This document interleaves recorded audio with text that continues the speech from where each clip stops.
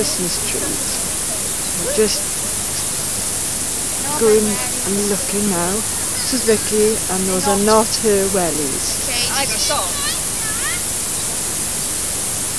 As you can see, someone's already got their tree.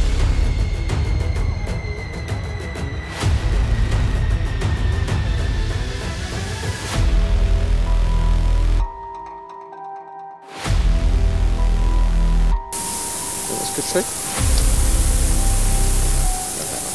Oh, I'm squashed in the car with a tree. Like